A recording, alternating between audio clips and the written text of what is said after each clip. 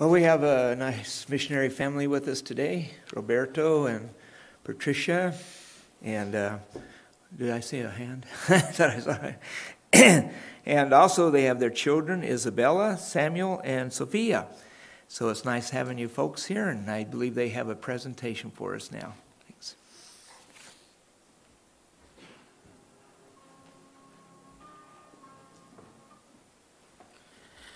Good to see that the presentation is ready to go. Good morning. It's a blessing to be back with you this morning. We were here five years ago. It seems hard to believe that time is flying. And I believe Patricia was able to speak to the ladies' meeting about March of 2015. Uh, maybe you don't know us, but let me take the time then to reintroduce ourselves. We are the Coelhos, and uh, we are your supported missionaries in the city of Sao Paulo, Brazil. Sao Paulo, a city of about 23 million people, and uh, they're all uh, scared of this virus, though they're not stocking up on TP. but uh, the Lord has uh, sent us there. Not yet. I don't know if there's a connection. I don't. I don't. I still don't haven't understood that connection. This church has partnered with us since 2004, I believe, so over 15 years. And uh, the Lord has allowed us to plant a church in the western section of the city of Sao Paulo, my wife Patricia. And uh, when the church took us on for support, it was thus just the two of us. But since then, the Lord has added three wonderful kids to our family. And uh, today happens to be Sophia's birthday. She's turning nine years old today. So if you would uh, greet her after the service, I know she would really appreciate that, as it is her birthday. Samuel's birthday was on Wednesday, and he turned 11. So, two birthdays uh, this past week. We praise the Lord for what he is doing in the city of Sao Paulo. We praise the Lord for the opportunity to serve him as we minister there. We've been back on furlough for two months, and uh, we're going to be gone on furlough this whole year, as uh, it is our desire to report to all of our supporting churches if we can. If they don't cancel services, we'll try to get to all of our supporting churches, and we'll probably end up visiting about 45 churches this year. But we want to thank you for uh, praying for us and partnering with us. And last year, you even sent some extra offerings towards our building fund. So we wanted to take the time to thank you for that and uh, to have you rejoice with us for what the Lord is doing. Think with me of a city named Bemidji, Minnesota. You know that city, right? In 1937, the Lord sent a couple from Bemidji, Minnesota to go to northern Brazil, to the Amazon region of Brazil, to share the good news of Jesus Christ. Among their very first converts was a couple named Jose and Maria, Joseph and Mary. And in 1941, they came to know the Lord Jesus Christ. And the Trimbles, Garnett and Fern Trimble, were the name of the missionary couple who left Bemidji, Minnesota to go to northern Brazil. And Jose and Maria Coelho were my grandparents. They were led to the Lord in the 40s by missionaries who left Minnesota to go to northern Brazil. My father was born in 1947 in Brazil, and at the age of six, he came to know the Lord through the ministry of the Trimbles in northern Brazil. In 1973, the Lord allowed my dad to come to the U.S. to attend seminary, and the Lord sent him to Minneapolis, where he attended Central Seminary. And someone told me this morning that uh, they, they were in seminary at the same time my parents were attending seminary. I was born in 1976, uh, January 5th, cold winter uh, morning. The car wouldn't start, uh, as you can imagine, on January 5th, but I was born in 1976. And then my parents returned to Brazil as church planters and pastor and missionary. In 1991, our family went to the western section of the city of Sao Paulo as missionaries to start a church planting ministry. And my father chose this neighborhood. I was 14 years old at that time, uh, and we were serving as missionaries uh, sent from uh, Woodcrest Baptist Church here in the cities. And the Lord uh, directed my family to start a church plant in the western section of the city of Sao Paulo. And my father found this building that used to be a family run restaurant. And this Italian family lives upstairs, and they were renting this storefront. So we started holding services. And uh, two months into the Bible studies, the first person got saved in that ministry, the landlord's oldest daughter, Patricia. So she was uh, led to the Lord by my younger brother, who was 13. She was 14 years old at that time, and I was 15, I believe. And then, as soon as uh, she got saved, I proposed to her, and then shortly thereafter, we got married. Not quite. So, uh, in 1998, uh, I was 21, she was 20. Uh, Uh, we got married, and then two weeks later, uh, the Lord sent us back to the U.S. to study, back to Minnesota. And uh, we attended seminary from 1998 through 2002 here in the cities. And then after that, we candidated with Baptist World Mission. And uh, we raised our support and arrived in Brazil in 2005. And we've been serving the Lord in Brazil since that. So we praise the Lord for missionaries who've been in contact with our family, for missionaries who sent the gospel to northern Brazil to reach my grandparents. Uh, my parents have been missionaries. They're still serving in the city of Sao Paulo, and we've been serving in the city of Sao Paulo over the last 15 years, and we praise the Lord for the opportunity to serve the Lord in that city. This morning we have a video presentation to share with you. First of all, we want you to rejoice with us as you watch this presentation on seeing God work in the city of Sao Paulo. Rejoice with us in seeing lives saved and transformed by the power of the gospel. And as you've been partnering with us, that is an extension of your ministry there. So uh, rejoice with us in seeing God do an amazing thing in the city of Sao Paulo. Rejoice with us as you see the beginning of the building of our building. Uh, you've contributed to that, towards that, and you've prayed for towards that. So rejoice with us in seeing the beginnings of that. But please be reminded to pray for us uh, as we go back to Brazil. Uh, they are having services uh, this morning. They will continue to have that, but they are uh, prepping and preparing uh, for uh, the virus. I called our national co-worker yesterday and said, well, this is going to be difficult, but please tell people not to shake hands or hug each other. Brazilians like to hug. They like to touch. And I know that's going to be a struggle in church. But uh, pray for them and uh, pray, pray for the completion of our building. We're not quite there yet, but the Lord is providing, and uh, we have been uh, busy with that. And uh, be reminded to pray for us as we are on furlough this year, as uh, we will be traveling. But as you watch the presentation, just rejoice in seeing what God is doing in the city of Sao Paulo. Rejoice that souls are being saved and transformed by the power of the gospel. And rejoice at seeing God at work in the city of Sao Paulo. And please be reminded to pray for us. There, uh, you're going to see a technical school that was built just across the street from our church building. They're hoping to have as many as 10,000 students going there. For the time being, they have about 2,000 students, and we're already seeing people saved from that. So just rejoice in seeing what God is doing in the western section of the great city of Sao Paulo.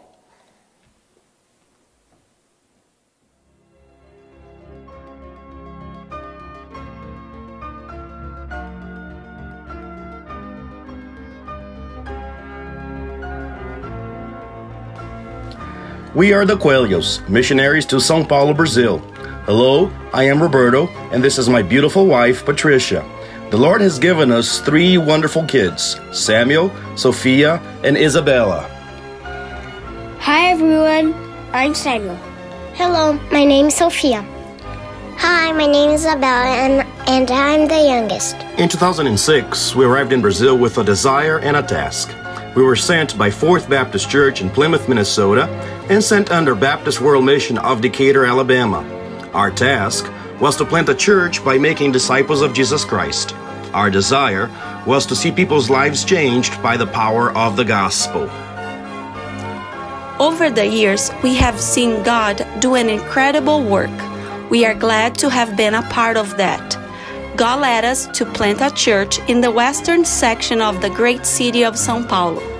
Sao Paulo is the third largest city in the world, with a population over 20 million people. That's over 20 million souls in need of the light of the gospel. As we came to the field, the Lord impressed upon our hearts the words of Acts 26:18, to open their eyes and to turn them from darkness to light and from the power of Satan unto God, that they may receive forgiveness of sins and inheritance among them which are sanctified by faith that is in me. We chose as our target a residential neighborhood in a suburb of Sao Paulo, about six miles from our home. This is a very Catholic neighborhood. Of course, many Catholics in Brazil are also practicing Spiritists we have also seen over the years an explosion of neo Pentecostalism and the false hope of the prosperity gospel. Drinking and drug abuse are prevalent. We were faced with a spiritual darkness. It is in darkness that the light shines the brightest. As we have shared the good news of Jesus Christ in the neighborhood, we have seen many people bound by the power of Satan in need of the light of the gospel. But we praise the Lord that we have seen some come to a saving knowledge of Jesus Christ, turn from darkness to light, from Satan unto God. We have witnessed many receiving the forgiveness of their sins through faith in Jesus Christ our Lord. We rejoice in the opportunity of seeing lives transformed by the good news that Jesus came to save those who are lost in sin and in darkness. When we started this ministry, we rented a storefront to hold our services. We had many activities with kids and adults with the goal of sharing the gospel with any who would hear. Every week, we went to the street market to make contacts and to try to share the gospel. The Lord really blessed those efforts, and a small group of believers began to grow. This gave us a great opportunity to try to teach them to obey whatsoever the Lord has commanded us. After renting for several years, we eventually moved into the local public school to have our services there as rent was becoming expensive. We began praying for the Lord to supply a permanent meeting place for the church. After about two years meeting in the public school, we were forced to move out and uh, once again rent. We praise the Lord for supplying each step of the way. We also rejoice that the Lord finally gave us a piece of property in the neighborhood. Land in a large city like Sao Paulo is very expensive, so it really was a work of God that we were able to acquire land. It really didn't look like much at first, and we had no idea what the Lord was going to do. Now that we finally had property in the neighborhood, we began praying for the Lord to supply for our building, and the Lord did just an amazing thing. A technical school began construction just across the street from us, and they offered to remove over 400 truckloads of rubble and soil from our property, all for free. Praise the Lord. After building several retaining walls, we were finally ready to begin the construction of the parsonage at the back of the property so we could stop paying rent and hold our services there. In March of 2017, we moved our services to the parsonage at the very back of our property, and for two years we met there. Though it was small and tight, we were really encouraged by not having to pay rent. Finally, in 2017, we were able to build the foundation of the building, then the walls. Then in 2019, we finished the first concrete slab. In April, we moved our services to our new and spacious building. Recently, we were able to build the walls for the second level. We still have to finish the second concrete slab, as we will have Sunday school classrooms and a fellowship hall on the second level. The first floor is yet unfinished, but we praise the Lord for what He has done so far. We have plenty of space now, and we have been receiving many visitors on a weekly basis, and the neighborhood finally believes we're there to stay since we have our own building. We even have had many visitors coming from the technical school just across the street. The building has been a great tool in reaching people with the good news of the gospel. As we talk about the building, we are reminded that our Lord is at work in our neighborhood. After all, He promised to build His church. We praise the Lord for saving souls in this needy neighborhood. We praise the Lord for the opportunity to make disciples of Jesus Christ in the city of Sao Paulo. We praise the Lord for the opportunity to baptize those who make profession of trusting in Christ for their salvation. Please rejoice with us in seeing many lives transformed by the power of the gospel. The Lord also directed our church to invite Pastor Douglas to work with us. He worked with us in 2019, and he's taking care of the ministry while we are gone. Our prayer is that the Lord may lead him to become the pastor of this church when the church is ready to become self supported and self governed, and as the building is complete. Please pray for us as we continue sharing the love of Christ for the lost souls and as we desire to make more disciples of Jesus Christ. Pray for Igreja Batista da Fé, Faith Baptist Church. Pray for the completion of our building as well. Pray for the salvation of souls so they may be turned from darkness to light, from the power of Satan unto God, receiving the forgiveness of their sins through faith in Christ. We count it a privilege to serve our Lord. Please pray for us as we continue serving Christ in Brazil.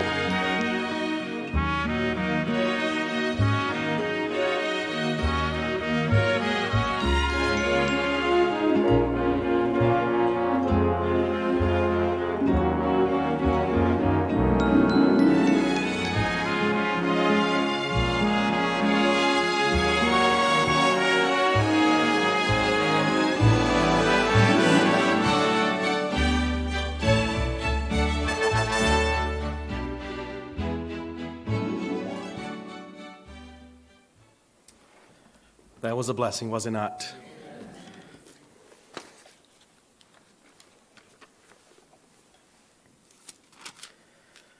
God is our refuge and strength, a very present help in trouble. Therefore, we will not fear. Perhaps we need to be reminded of these words as we see things changing around us and as we face situations around us that we cannot control. But as believers, we do not fear because we know the true God. He is with us, He is our refuge, He is our strength. So the psalmist says, Be still and know that I am God. I will be exalted among the heathen, I will be exalted in the earth. Come, behold the works of the Lord, what desolations he hath made in the earth. God knows what he's doing. He is a sovereign God. He controls things, he controls events, and he does all that he pleases for his glory. This morning, I want to invite you to open your Bibles with me to Acts chapter 16. In Acts chapter 16, we will again see that God is in control of the situation. He is God. He knows what He's doing. He is a sovereign God, and we can trust Him and praise Him and be still even though things become difficult. In Acts chapter 16, we find Paul in his second missionary journey. He had just separated from Barnabas and is in his um, second missionary journey through Asia Minor, which is current day Turkey. Paul has taken with him four companion, three companions Timothy from the town of Lystra, Silas from Jerusalem, and Luke, the author of the book, also joins him, and he's originally from Troas. Four men who have been willing to serve God. But as we read the narrative, though these men are willing to serve God, they're not in control of the circumstances. God is in control of the circumstances. God is the one sending them. God is the one guiding them along because God is the one who's interested in seeing souls saved.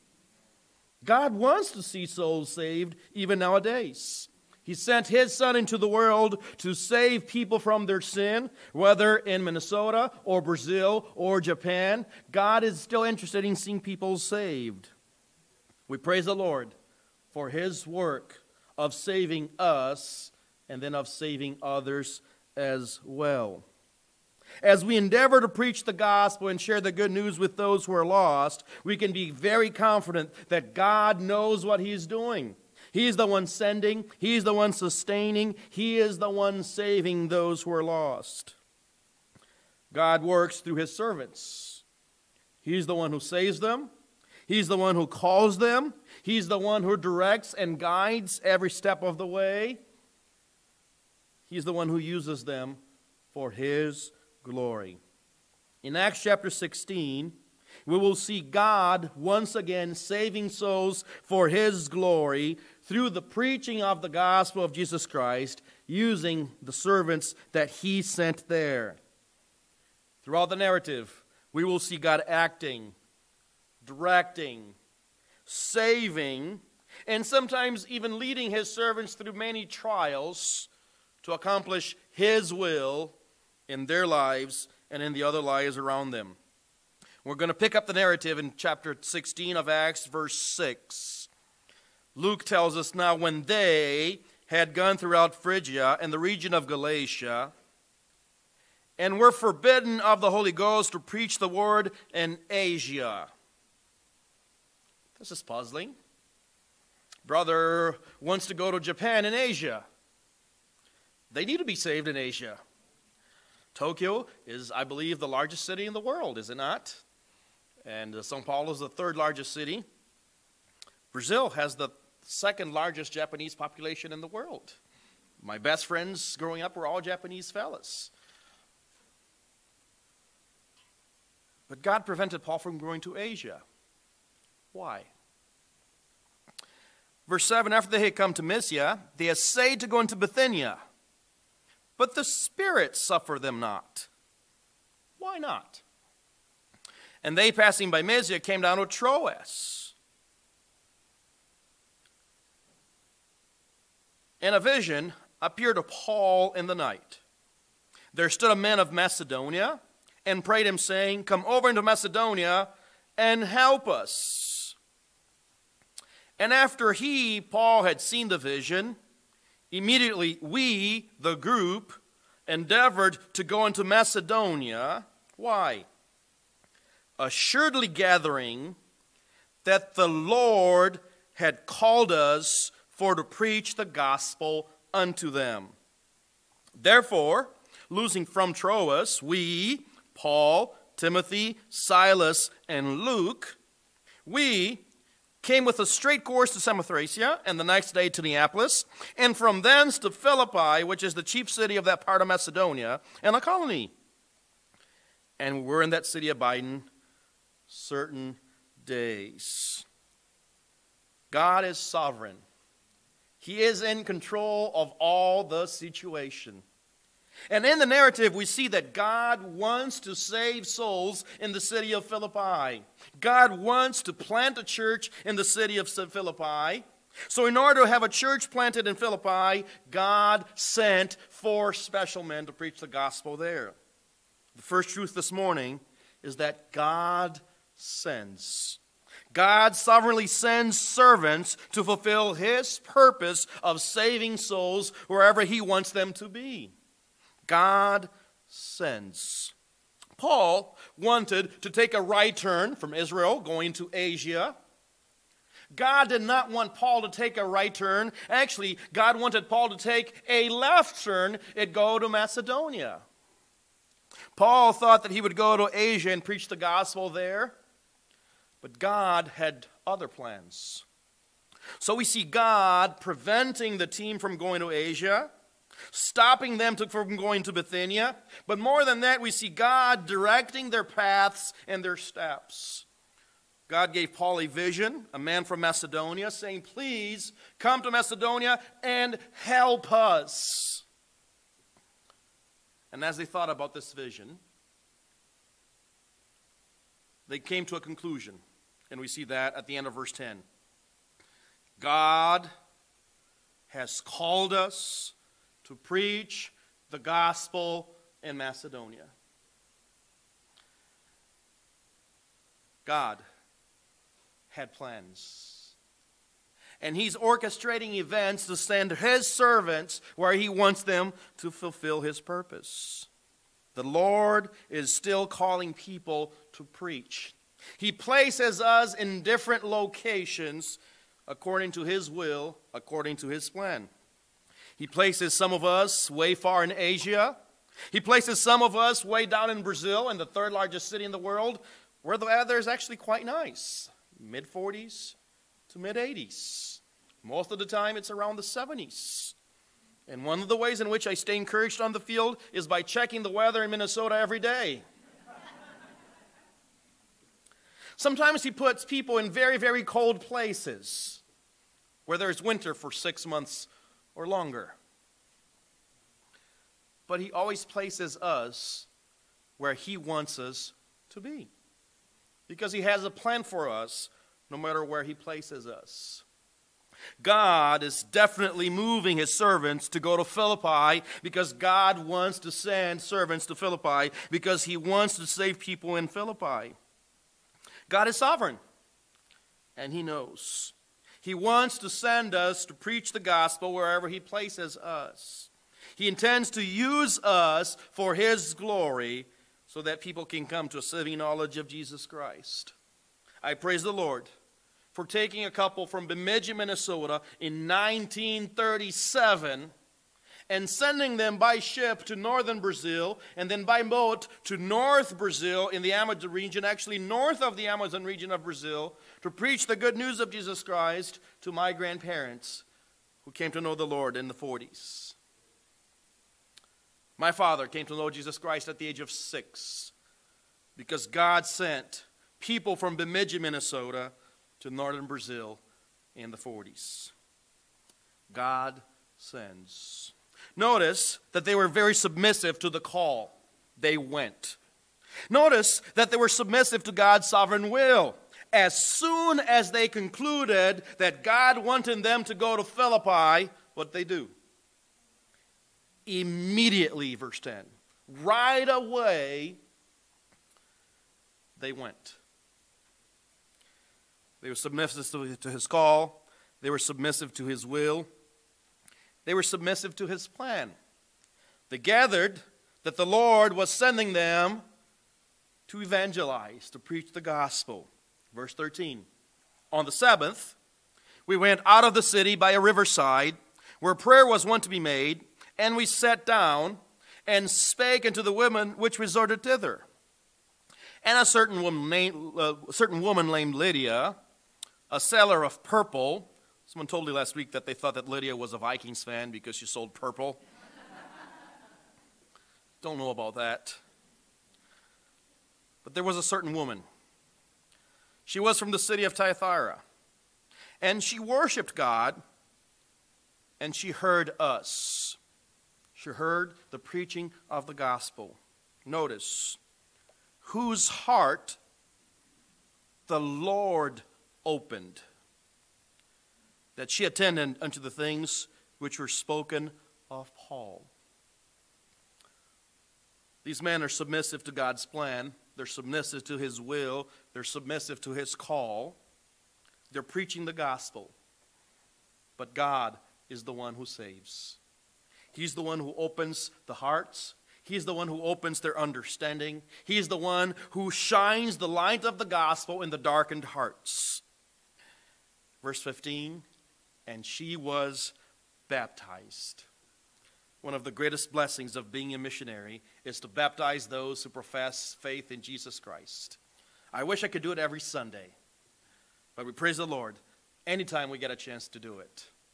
Last December, you probably saw it in our prayer letter. If you haven't, uh, they're posted there, and you see pictures of that. We were able to baptize uh, an old elderly lady. She is 70, I think, or 60 weight perhaps. We have preached the gospel to her for 68 years, uh, for 18 years, I'm sorry. For 18 years, she had heard the gospel. For 15 years, we had ministered to her.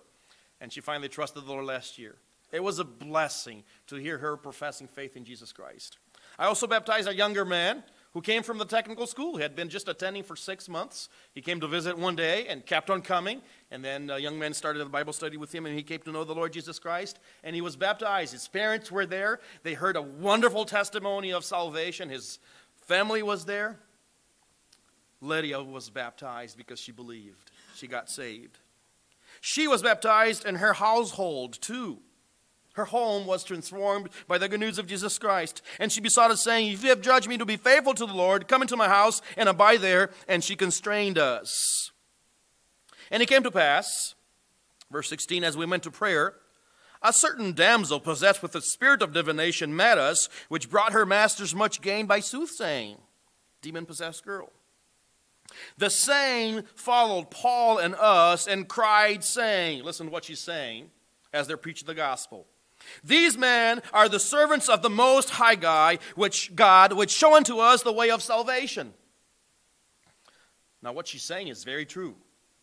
That's exactly what they're doing. That's exactly who they are. They are the servants of the Most High God, and they are showing unto the people the way of salvation. How many would like to have a demon possessed person following you, shouting that as you go out and about? Paul didn't like it either. And did she did many days, and Paul was grieved. Day after day, as they preached the gospel, there's a demon possessed girl following them, shouting, These men are the servants of the Most High God, and they want to show unto us the way of salvation. We have never seen a demon possessed person in Brazil over the last 15 years. We praise the Lord for that. Though once, a young lady came to church after a Wednesday night service, and she said, I really need help. My brother is back at home. Uh, he's been speaking in a weird voice. He has both of his hands around his neck, and he's trying to take his own life. And my mother and I are trying to pry his hands off his neck, and we can't. She stayed behind with him. Can you please come over and help us because uh, he, he wants to take his own life? I was by myself, wasn't sure about the situation, wasn't sure what was really happening. Happening, so I said, Do you think you'd bring him over here instead of me going over there? Do you think he'd be willing to come? She says, I will try. So about five minutes later, they both came over. I wasn't really sure what was happening. He did have a very, very strange look. So I said, Is it okay if I pray? And he says, Yeah. So we prayed.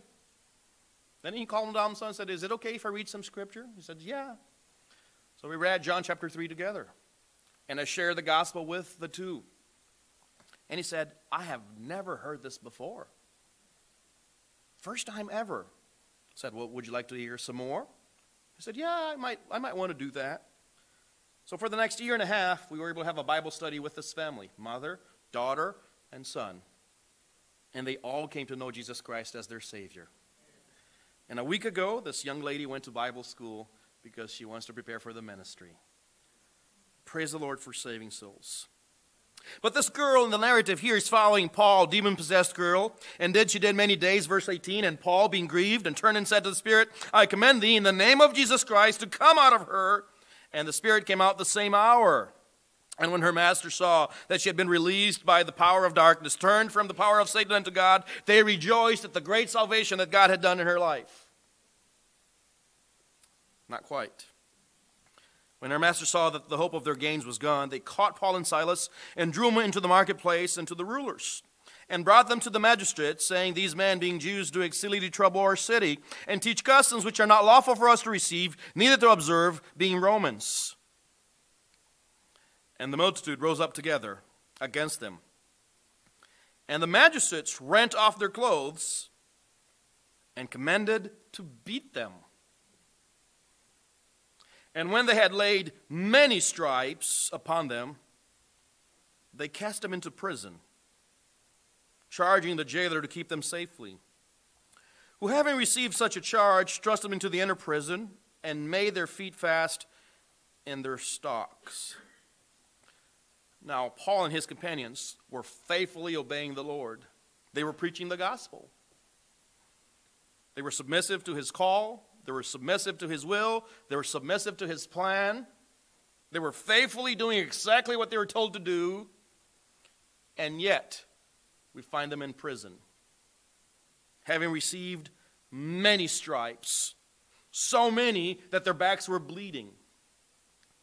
They were cast into the inner prison, a hole dug on the rocks. A dark, humid hole. No water, no light, nothing. And their feet were bound as well, they were chained.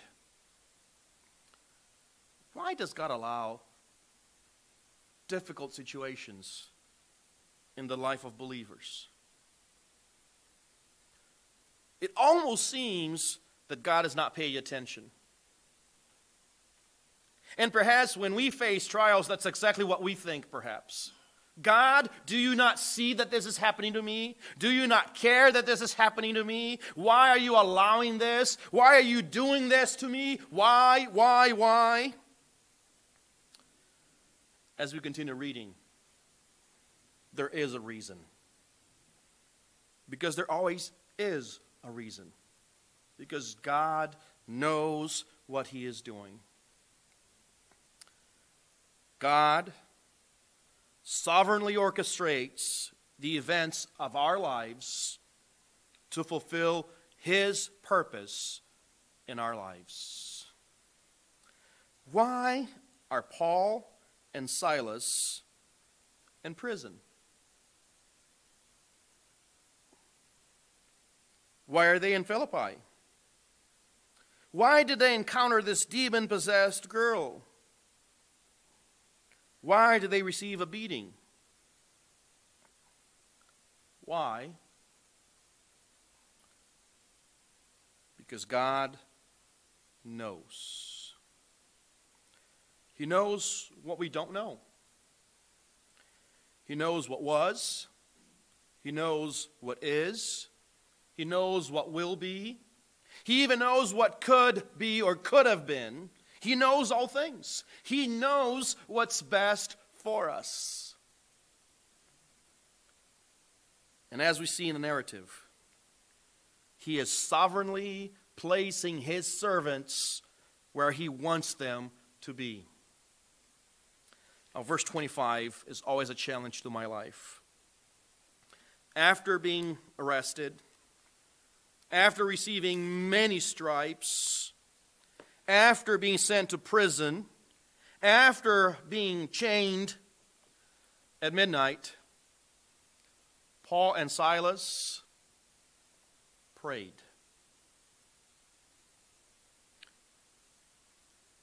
And sang praises unto God. How can they do that with bleeding backs at midnight and dark, in darkness? That's because they had learned to trust God and rejoice always. I don't know what hymn they were singing, but when I imagine the situation, a hole deep in the rock, darkness at midnight, in my mind, I imagine them singing, When peace like a river attendeth my way. When sorrows like sea billows roll, whatever my lot, thou hast taught me to say, It is well, it is well with my soul. Though Satan should buffet, though trials should come, let this blessed assurance control. The Lord hath regarded my helpless estate and hath shed his own blood for my soul. My sin, oh, the bliss of this glorious thought. My sin, not in part, but the whole, is nailed to the cross and I bear it no more. Praise the Lord, praise the Lord, all my soul. It is well with my soul. It is well it is well with my soul. And sang praises unto God, and the prisoners heard them. And suddenly, there was a great earthquake, so that the foundations of the prison were shaken, and immediately all the doors were opened and everyone's bands were loosed. And the keeper of the prison, awaking out of his sleep and seeing the prison doors open, he drew out his sword and would have killed himself, supposing that the prisoners had been fled. But Paul cried out with a loud voice, saying, Do thyself no harm, we are all here. Then he, the jailer, called for a light and sprang in and came trembling and fell down before Paul and Silas and brought them out and said, Sirs, what must I do to be saved? And they spake unto him the word of the Lord, and they said, Believe on the Lord Jesus Christ, and thou shalt be saved, and thy house. And they spake unto him the word of the Lord, and to all that were in the house.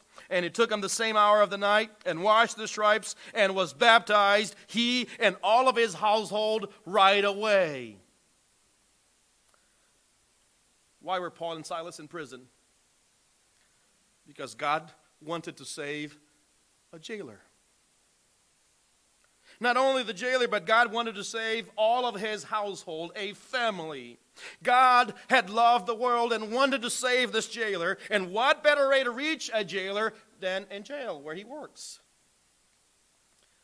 But in order to do so, he had to send his servants to prison. And before that, they received many stripes.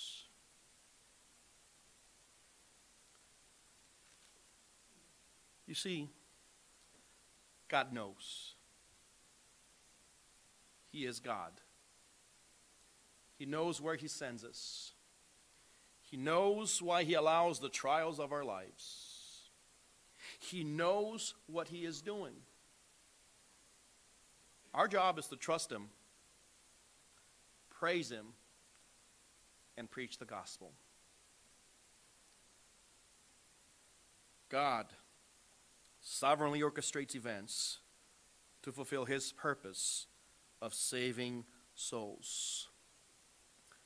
The jailer took them the same hour, verse 33. This is in the middle of the night. Washed their stripes. They had bleeding backs. And he was baptized. Verse 34 And when he had brought them into his house, he set meat before them. It is biblical to serve your missionaries steak. It says right there, he set meat before them.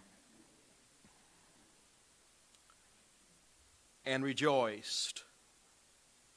Why? And the verse 34 believing in God with all of his house.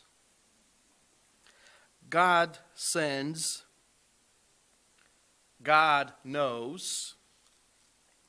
Third point this morning God saves. God saves. He saved the Philippian jailer. He saved that family. He saved Lydia. He saved Lydia's family. He saved perhaps the demon possessed girl living in darkness, bound by the power of Satan. She came to know Christ.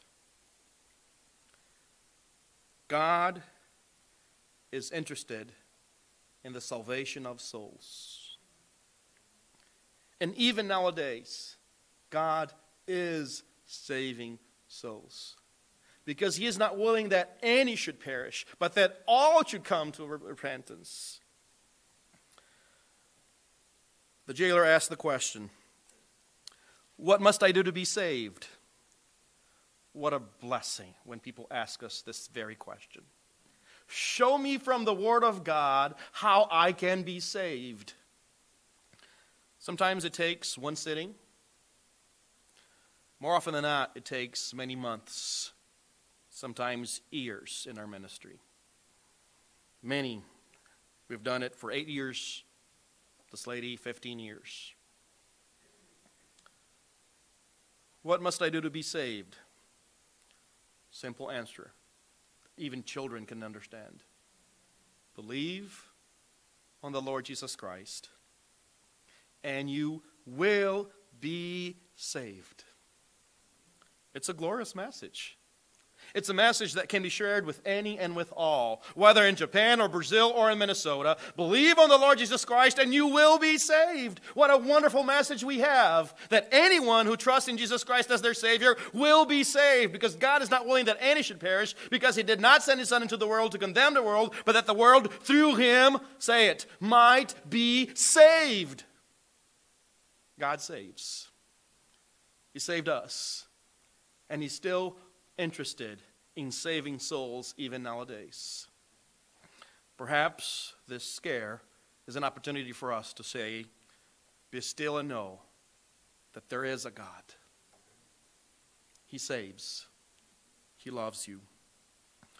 Paul said in Romans chapter 1 I'm not ashamed of the gospel of Christ, for it is the power of God unto salvation to everyone who believeth as we minister in a city of 23 million souls. We can tell each and every one of those believe on the Lord, and you will be saved. As brother goes to Japan with a population of around 50 million, is that right? 150 million. in that tiny island. He can say to each and every one of those, Believe on the Lord Jesus Christ, and you will be saved. God is still interested in the salvation of souls. He sends, He knows, He saves. Verse 40. And when they went out of prison, they entered into the house of Lydia. And when they had seen the brethren, the group of believers who were gathered to worship God, the brethren, they comforted them and then departed. God had planted a church in the city of Philippi. Many years later, Paul wrote these believers a letter. We call it the letter to the Philippians. And he wrote them I thank my God upon every remembrance of you, always in every prayer of mine, for you all making request with joy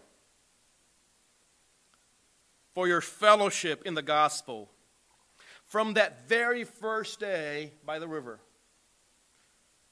until now. And he writes, being confident of this very thing, that he which hath begun a good work in you will perform it until the day of Jesus Christ. He told them that they could continue trusting in God because God was still at work. God is still at work today. He's at work in Minnesota. He's at work in Brazil. He's at work in Israel. He is at work in Japan. What a privilege we have to serve a great God. He sends, He knows, He saves. We have heard the gospel news. Jesus saves. Jesus saves. Thank you so much for partnering with us. Please, please be reminded to pray for us. We have prayer cards out in the foyer. They're free this morning. Stick it to your Bible, to your refrigerator. Be reminded to pray for us as we seek to go back to Brazil. And as things continue in Brazil, even while we're gone, we've got a national co-worker, Pastor Douglas, and he's uh, keeping things going. Continue praying for the salvation of souls. Pray for us as we travel from city to city, reporting on what great things the Lord has done in Sao Paulo. But rejoice with us this morning because God is still saving souls through the preaching of the gospel of Jesus Christ wherever He places His servants. Father, what a privilege it is to serve you. What a privilege to see from your word that you are a sovereign God. You control all things. There is no reason to fear. There is no reason to be concerned. You know what you are doing because you are an all knowing God. You're an all powerful God. You've promised to keep us, to protect us. Father, even as you send us through the valley of shadow of death, we may not need to fear because you are with us. Father, help us to have our confidence in you Help us to be reminded that you know what you're doing even in all things. Father, perhaps this crisis is an opportunity for us to be reminded ourselves of who you are and to share with others salvation through Christ. I pray these things in Jesus' name. Amen. All right. What a great day to have them with us today. And tonight, Brother Sawilowsky and his wife, a mission that really to local churches to help train us to reach Jews for Christ. They'll be with us at 6 o'clock. You know, I was listening to our brother talking about uh, how God engineers things. Can you believe this? God has shut down all the churches except the Bible preaching churches because most of us are under 250. So we get to stay open. And, and God shut down all the sports activities. So what are people going to do? They'll have to come to church. So this is our opportunity. let people know we'll have church, and who knows, uh, maybe pretty quick, then we'll be over 250, and we'll have, then we'll have to break the law and be thrown into prison. So, um, just think about this is a great opportunity, isn't it? Mainly to be positive and not to be fearful, but to say God is in control. And uh, I have to admit, I'm a little paranoid. Every time I cough, I'm thinking, oh, somebody's going to think I've got, uh, you know, coronavirus or something. But uh, I've had a cough for about 50 years, so uh, that's nothing new.